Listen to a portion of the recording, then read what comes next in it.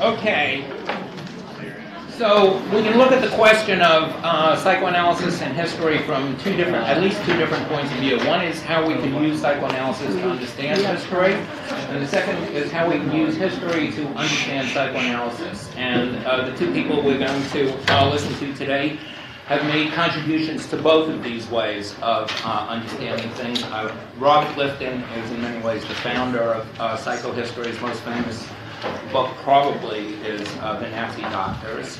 And Daniel Pick uh, has, uh, In Pursuit of the Nazi Mind, his most recent book, but also in so many ways the, the, the mind behind the London conference, and I, I gather this one as well. So with that. Well, thank you very much. Well, it's a great privilege to um, be here to talk to Robert J. Lifton. Do I need a microphone? Where is the microphone? It's right here, isn't it? Okay. So it's a great privilege to be uh, having this conversation with Robert J. Lifton. And I think he, in, in many ways, as Eli says, in a way, um, it very famous. He doesn't need introduction. People will know many of his works. Um, and I guess I first came across him through the Nazi doctors back in the early 1980s as a, as a student. But it was more recently, really, with my interest in um, the, the history of psychohistory and the question of why America developed this genre and Britain, Britain didn't in the post war period that I, he came back to my attention. And then more recently, with my interest in the 1950s and the Cold War and brainwashing, which I was talking about yesterday, led me also back to his early work. So we thought we'd have a conversation for the next sort of 30, 35 minutes, the two of us, and then open it up to discussion. Um, and what, what, I also realized from the last two days of the conference is many of the names that people have, have been uh, referring to, from Erik Erikson to Norman Mailer, from Ronnie Laing to Robert Stoller, are all people that Robert knew and has um, you know, reminiscences about, so that there are many ways this conversation could go. But I wanted to start, Robert, just by asking you perhaps just to describe for people your route to psychoanalysis in the first place. Well, at the time that I came into intellectual consciousness um, right in the immediate post war era, psychoanalysis was the path for every ambitious and presumably intellectual psychiatrist. So, an interest in psychiatry at that time led readily towards psychoanalysis. Uh, in a way, psychoanalysis had oversold itself in American society. Uh, it had emerged from, I think, World War II with considerable brilliance because there weren't many or any other psychologies that did much for soldiers when they had combat difficulties uh, in comparison with psychoanalysis. But inevitably, psychoanalysis came to its own dogmas uh, and had lots of difficulties. However, there was a wave of psychoanalytic triumph and triumphalism, uh, which certainly uh, influenced young people like myself in that direction. Right. Um, we'll come back to the dogmas uh, shortly, I think, uh, which uh, uh something I wanted to ask you about. But I should have actually just said, by way of introduction, I mean, not only can people obviously know about the history of Robert's work through his, his many books, but also witness to an extreme century, a memoir, um, which, which has been published. And uh, so, uh, in a way, that's the background to my conversation. But I know pe- many people here will be interested in that. Um, but I wanted to go actually back before you became a psychoanalytic candidate. Um, to, uh, to, to, just the period uh, uh, of the beginning of the Korean War, and because that was before you became an analytic candidate right. later in the 50s, but just to ask you how you ended up as a psychiatrist in the Air Force. Yes, uh, I ended up as a psychiatrist in the Air Force because I was drafted and went kicking and screaming uh, into military service. At that time, there was a doctor draft in this country, and uh, they put it to me straight. Uh, either you uh, seek uh, a commission as a medical officer in one of the services, or we draft you as a private. Well, you know which one I chose. However, I later became more critical of my own decision because thinking historically, the Korean War, which was so accepted in American life as necessary to, quotes, stop communism, turned out to be a very dubious military venture on the scale with which it was initiated uh, at that time. But uh, so I spent two years in the Far East uh, and uh, most of the time in Japan, but six months in Korea, and that gave me some beginning sense of war peace issues, although I wasn't really asked to uh, treat people in combat. They reserved that for regular officers, not for reservists like me, who they thought were too soft uh, and were likely to show uh, empathy, if not uh, sympathy as well, for people who were hurting and to send them back to the United States. Uh, whereas the role of physicians in the military is to keep command strong for the most part, and they're likely to have a conflict with the Hippocratic Oath on that score. But anyhow, that's how I got right. to into the military and my initial interest. So you've gone from medicine in New York to being uh, a psychiatrist in the Air Force to Korea, and then in 1953 uh, you found yourself given, I think it was your last mission uh, as, as part of this uh, uh, period. Uh, I'd like you to just describe for people what, how that got you interested in thought reform. That um, my last military assignment, well, I, I, heard about returning POWs, returning uh, to uh, the border area of North and South Korea from uh, being uh, prisoners of war, mostly in Chinese or North Korean hands, and um, uh, I heard that they were being interviewed and people were confused by them because some had expressed communist images or beliefs. Uh, all of them were confused.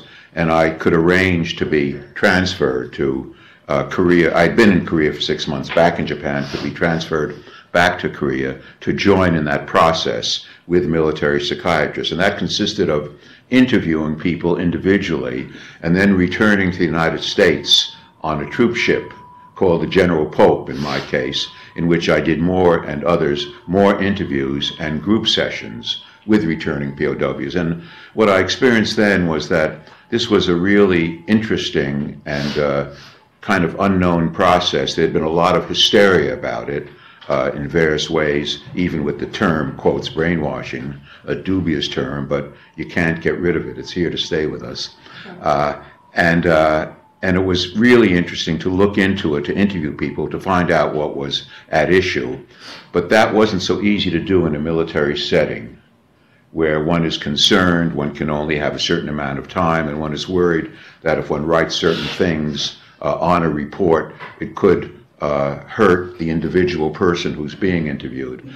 And from there, I was later able to do a more systematic and thorough study in Hong Kong of um, two types of people. One were Westerners, Europeans and Americans who had been imprisoned and accused of being spies by the Chinese communists, and of Chinese intellectuals and students who were put through a systematic so-called thought reform program uh, that I studied and later wrote about. Before we, uh, before we leave the General Pope, I think it'd just be good just to sort of give a bit the flavour of what some of those interviews were like, because I know the POWs were often divided into, had been divided into groups yes. by their captors, but then there, there were great tensions often within the, the, the, groups on the ship, and you had to deal with both groups. It was, it was a painful time for those returning POWs, soldiers. Um, they were deeply confused. There had been uh, these hysterical reports of how they'd all been converted to Chinese communism, how they'd been weak because of the weakness in American society. Well, there are plenty of weaknesses in American society, but that wasn't the reason for their behavior. It really had to do with their confusion in that situation as to what they believed. Um, they would use terms like, I put my mind in neutral. Uh, and that, of course, relates to sometimes it can be called apathy or relates to psychoanalytic defense mechanisms uh, such as repression or, or uh, uh, derealization. But I came to then and later in my work a term psychic numbing, meaning the diminished capacity or inclination to feel, because it's a defense mechanism that deals specifically with feeling and non feeling. It had that virtue. In any case, that's the way they appeared. And even when the boat docked in San Francisco, it was interesting and sad to watch them because uh, they they had no real joy. They they looked sort of numbly, uh, uh, and it was a wise thing to have the trip, the 15-day voyage, I, I, believe it was, because at least there was that interlude between their release and uh, their return home. Return home, of course, as you might imagine, was far from easy for them. But I didn't feel I had really learned enough about that uh, process under those military conditions. And the fact that you went on being so interested in that process and then went on in Hong Kong to extend the project. I, mean, I wondered how much that was sort of backshadowed by the Second World War, by fascism, by the Moscow show trials of the 30s, as well as the immediate experience of the Korean War. So perhaps you could just say something about your what led you to be so fascinated by this problem. Looking back historically at that time, um, and you know, in terms of discussion before, it isn't so much a question of whether something is historical or not. Everything is historical. The question is whether we can have a historical perspective about it. But in that early post-war era, uh, you know, it was a a time what I later came to write about more recently, the superpower syndrome. America was all powerful, and that's a very dangerous position. All powerful militarily, economically, and in some degree morally, more than it deserved uh, at that time. Uh, but it had the advantage for young Americans like me of being thrust out into the world, and we had a sense we could do anything in the way of research. There was a lot of research money available, and that means a lot because if you can get money, you can do the kind of work you want to do. Uh, and there was that sense of American strength, which I have to confess, those of us who were extremely critical of American politics and much of American behavior nonetheless shared, myself included. So um, the way that I got to Hong Kong was that my wife and I, I decided to be discharged from the military in Japan so that we could take a world, uh, around the world trip on our way back to the United States uh, before I was to uh, uh, give in to the necessity of psychoanalytic training and, and a, a, career in psychiatry and psychoanalysis. And it turned out that Hong Kong was only our second stop. And um, I was introduced to people coming out of China who were fascinating to see. Some of them were missionaries, Western missionaries, some were Chinese intellectuals. They had been through a profound process you know, I, have told Daniel there, there are two illusions or mythic illusions about thought reform. One is that it's all powerful and can't be resisted, and it's almost a supernatural form of mind control. Not so at all. It can be understood in natural, naturalistic terms. The other myth is that it doesn't exist, and it's just a little bit of persuasion, a little more persuasion here than there. Actually, it has been a systematic program uh, confession, con- criticism, self criticism, uh, and with a certain amount of psychological know how, though not necessarily derived from psychological sources, so that the Chinese program for Chinese would always end with enormously intense denunciation of the father as a symbol of the old regime and the evil past. So in a way, the work you then did in Hong Kong reinforced or gave a much stronger sense of, if not brainwashing, of thought reform, even compared with what you discovered with the POWs. I mean, there was something more extreme about what some of these, these individuals had been through. Absolutely. I could begin to understand things from that. There were two aspects to thought reform. One was the confession extraction. To some extent, the world was familiar with that through the Soviets and their notorious uh, uh, trials of the 30s and, and wartime. Uh, but the second part of it, the systematic re education, as it was called, was primarily a Chinese contribution. And one of the ironies of that was, as I was to discover, was that um, they denounced in thought reform the Confucian past as reactionary but much of the process was derived from the cultural influence of Confucianism, which held that one should criticize and uh, oneself uh, be prone to criticism and self criticism, and had a, a principle called the rectification of names, which meant that if one didn't live up to what was supposed to be the name or responsibility one had in society, one had to change and be changed, even with the help of one's disciples. So it, it, it embraced a Confucian element while denouncing and it, Confucianism, and it was considerably a Chinese uh, contribution. And it, it culminates then with a book, Thought Reform and the Psychology of Totalism in 1961, but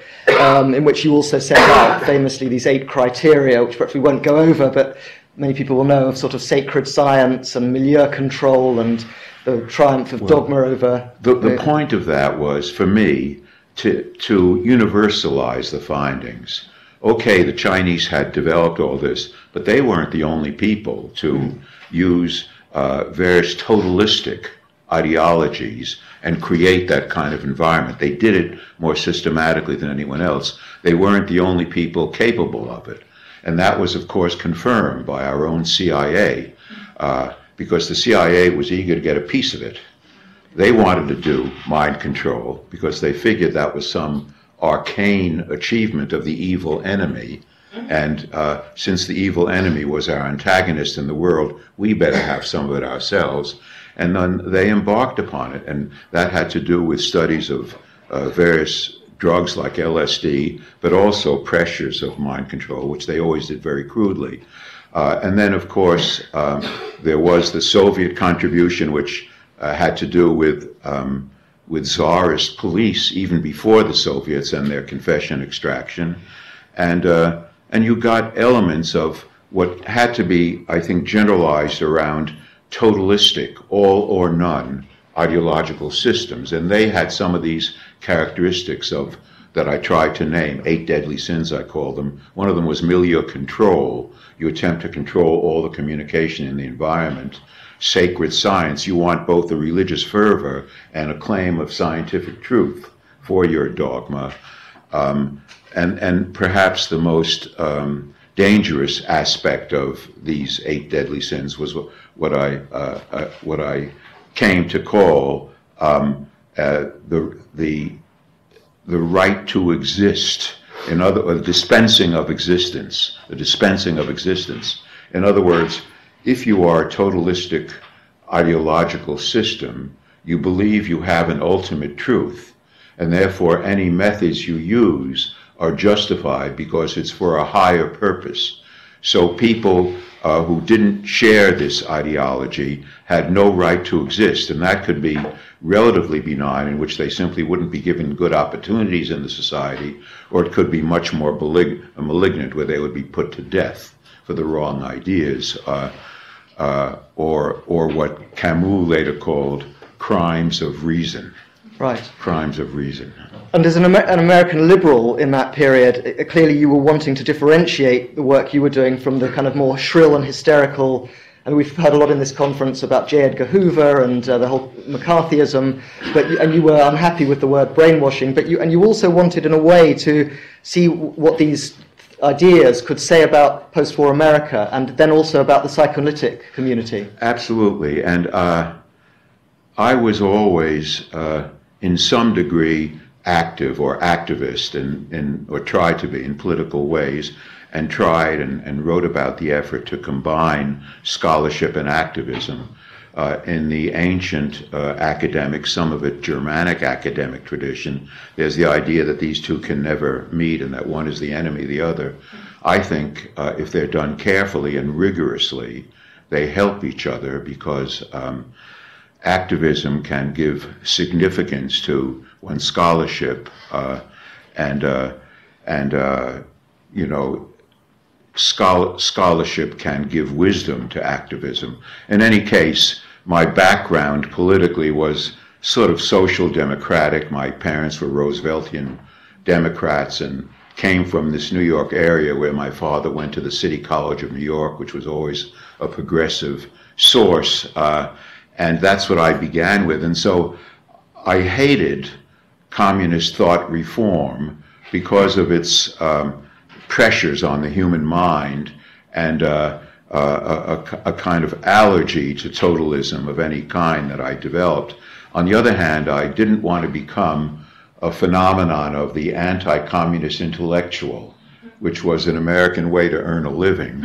Uh, and, you know, uh, You were even offered, I think, uh, the chance to work for American intelligence, which you Oh, politely I- declined, I think. I had my offers, yes. Yeah, yeah. Uh, I, I had a phone call once, uh, I guess in the 60s, uh, and it was a very straight laced character at the other end of the phone. And he said, Well, Dr. Lifton, let me congratulate you on your book. I said, Thank you. And he said, um, uh, It's a wonderful book, and you know, um, we take prisoners at times, and we'd love for you to consult with us. and I was stunned by this. I don't know quite what to say, so I decided to respond as an academic snob. So I said, uh, Well, then you haven't read my book carefully. because in my book I said that we want to identify thought reform or thought reform like tendencies and avoid them, not really fall into them or embrace them. Well, that was pretty much the end of our conversation. Let's temp- tempting it is to go on with that. I wanted to just go now to, in a way, your entry into the psychoanalytic world and the Boston Psychoanalytic Society. So, what, what was your sense of, of what that world was like when you first entered into it? Um, as I was, uh, as I had my residency training here in New York, and uh, it was then dominated by psychoanalytic thought, and our most interesting teachers were psychoanalysts. Uh, but I also noticed a hardening of psychoanalytic dogma, and uh, I was interested in history very early, even in uh, secondary school and university. I, history was a, a major concern of mine.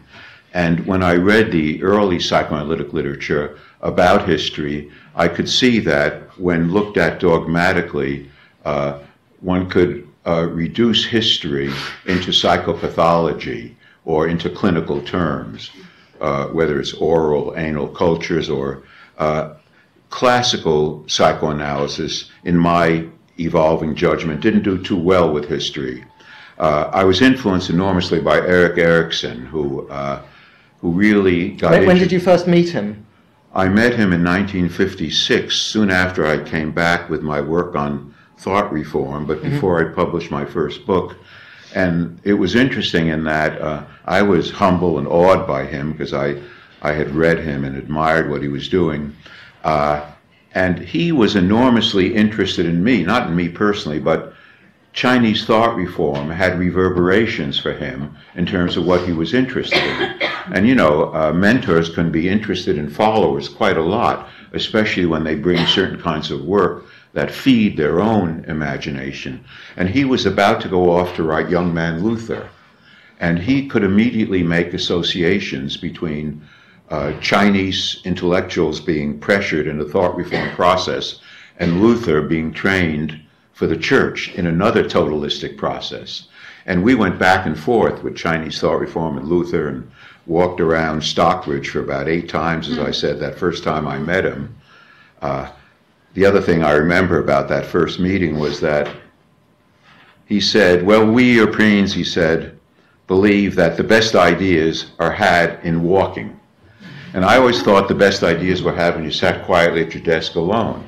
But I was willing to uh, agree with him. So, so we walked and walked around Stockbridge and actually became very good friends over you know, 30 or 40 years until he died. But that was the first encounter with him. And Freud, although you had your doubts about the reduction of history to psychology in the worst cases of, of that kind of Freud, you thought, nonetheless, Freud had inspired you as well as Erikson from quite a, an Freud- early stage, I think. Freud had been uh, a central figure in my life. I read him avid- avidly, and he was a, a, a kind of hero, a heroic figure. I know all sorts of new materials come out that puncture his heroism. That's fine. Uh, uh, he, he was a human being with frailties, but nonetheless a heroic one. Uh, but uh, in ways that I just mentioned, I thought that the hardening of psychoanalytic dogma, at least in relation, or at least the early expressions toward history, were not useful for what I was struggling to do. At the same, so I had great ambivalence about psychoanalytic training.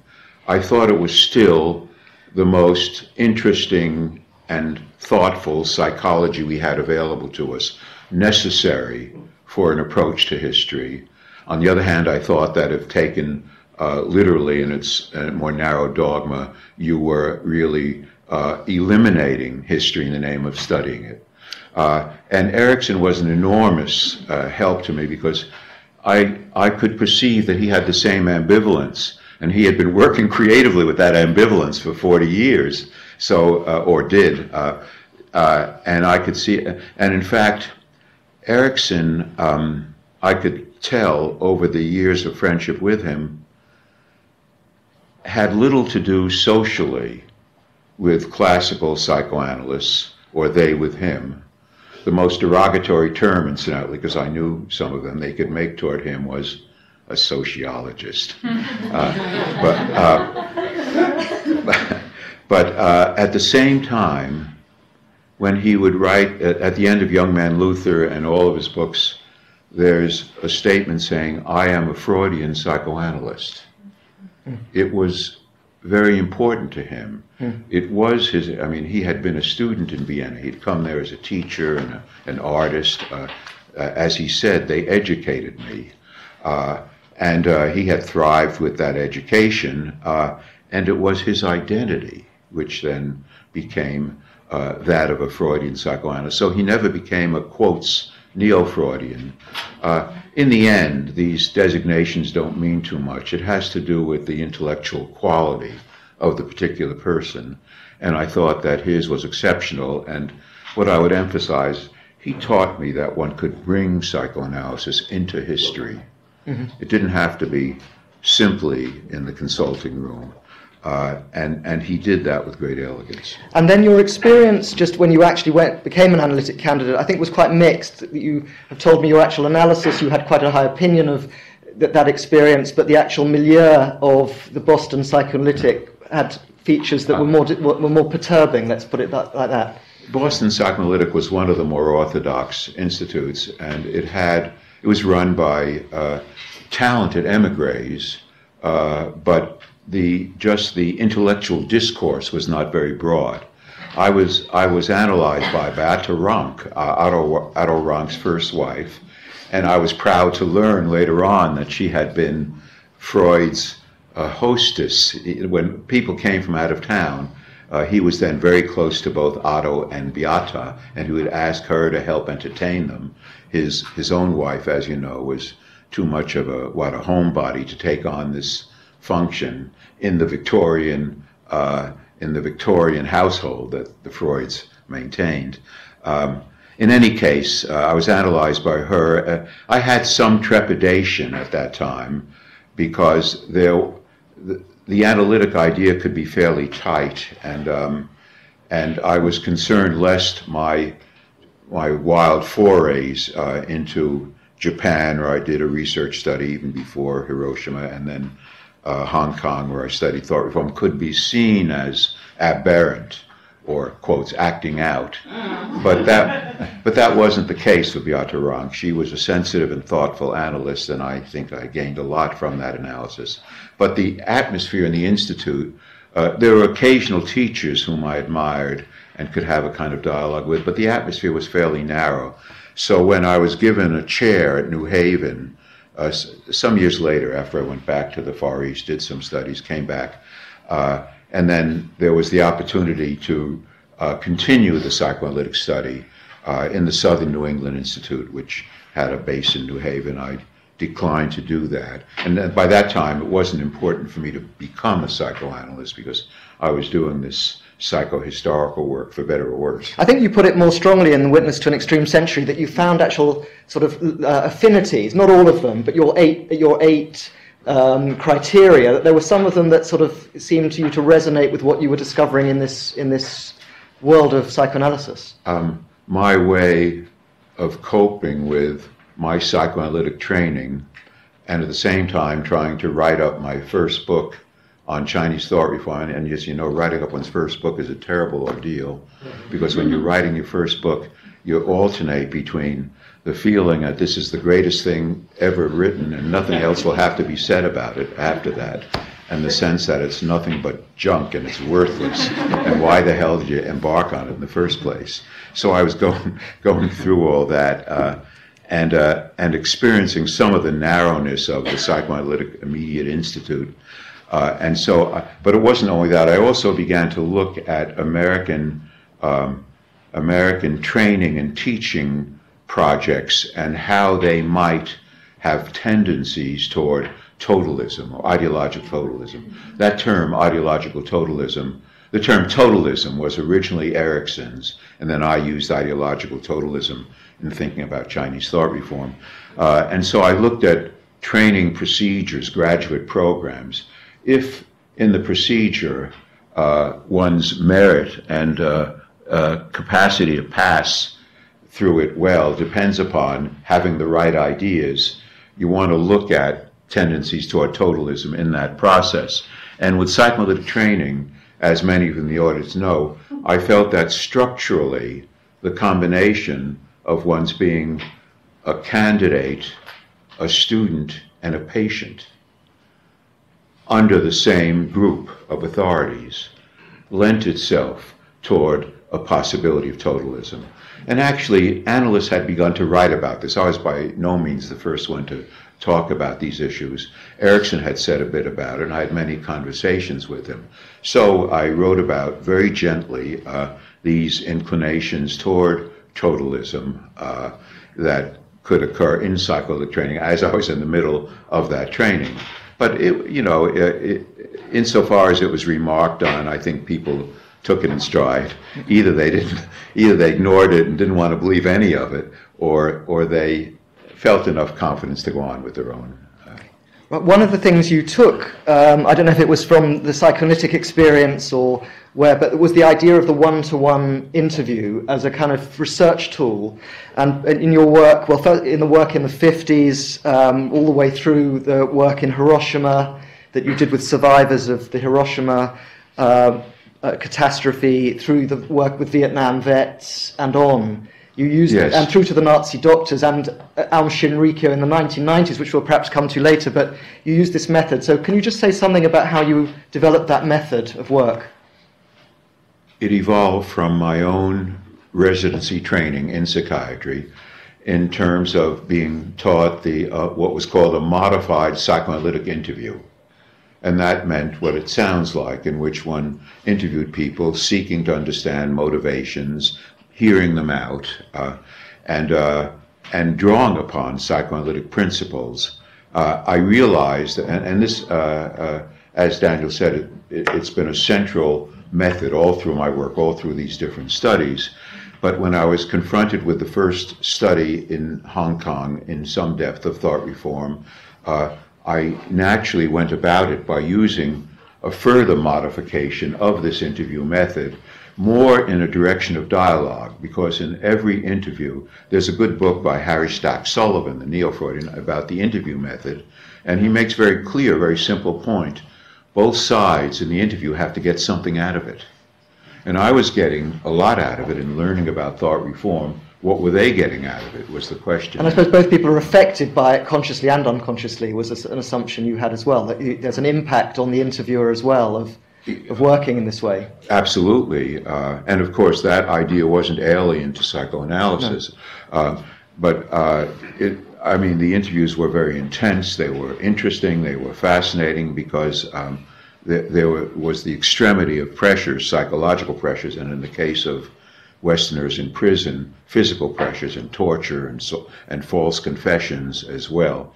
But uh, in terms of what I could offer the people I was interviewing, I, became, I came to realize it had to do with a certain kind of therapeutic element. I wasn't in any way their physician or, or their, their uh, therapist and, and didn't want to be, but they could feel and I could experience, and I think my medical training contributed to that, some sense that I was concerned with, sympathetic to their struggles uh, to overcome their confusion, uh, and they could get that kind of benefit from this interchange. But I had to.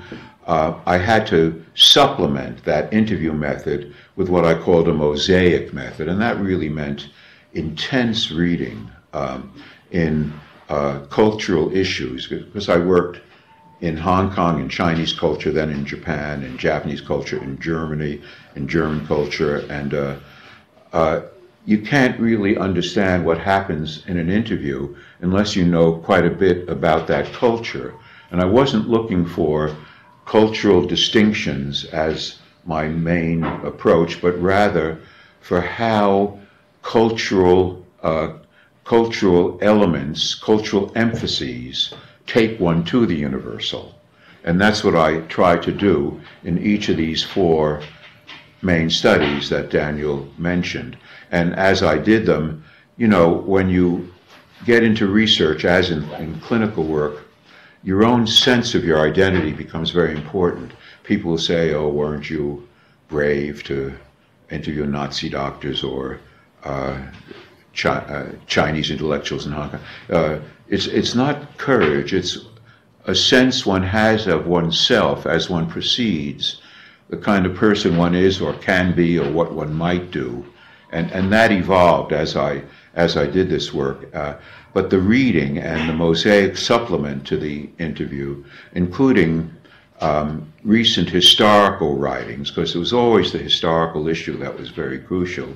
You could have Chinese cultural emphasis, for instance, on uh, on moderation, as is very strong in Confucianism, and yet um, in Chinese uh, thought reform, uh, the whole process could go quite mad in its intensity. Uh, and so the historical tendency could work against a cultural emphasis, and there's always a counter emphasis within Chinese culture, perhaps Taoism and other forms, against the Confucianism or any such culture. But you've got to read and immerse yourself in all this so that your interview work is more disciplined. I guess in about five minutes or so we'll open it out. But I just a couple of two or three more things I wanted to just ask you about. One is, I think in a way you've told me that the work with the Vietnam soldiers, sort of vet- veterans of the Vietnam War, was a bit different in the sense that you became politically more directly involved in, in, in th- that whole issue, and that that affected the work that you were actually doing in those interviews. Uh, I, I, was always trying to balance, however imperfectly, scholarship and activism, as I mentioned before.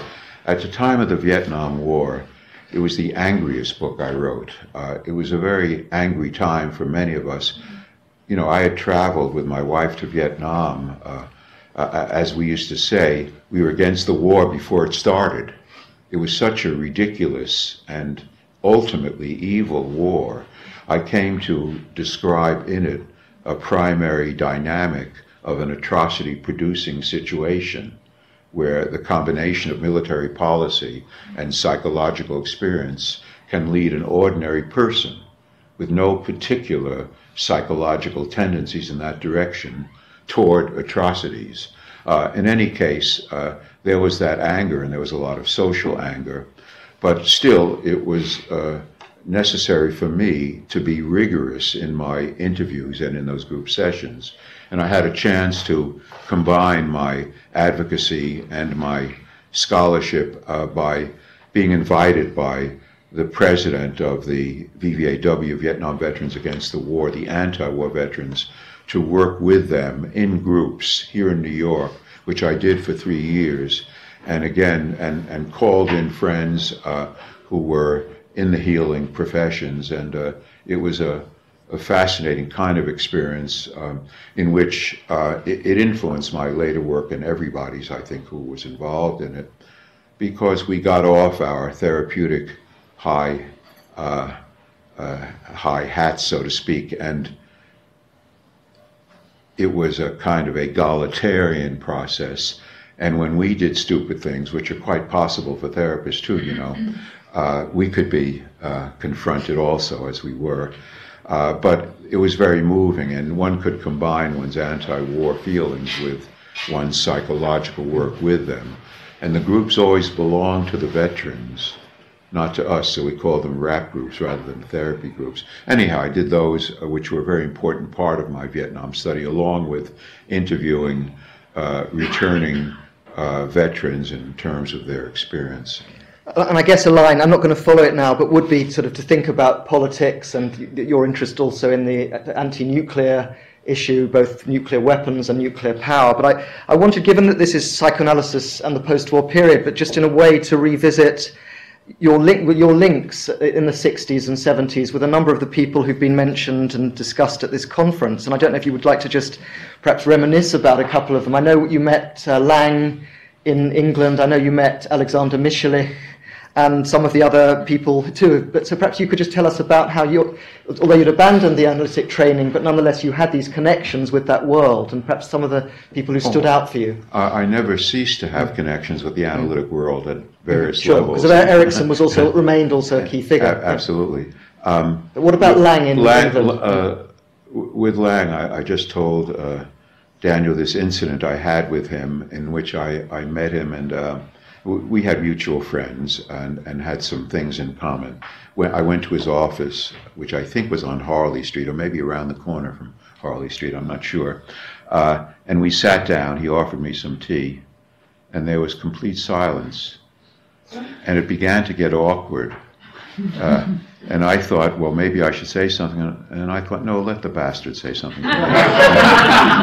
so we sat there that way. And finally, he said to me, "It is difficult to get to one to get to know one another, isn't it?"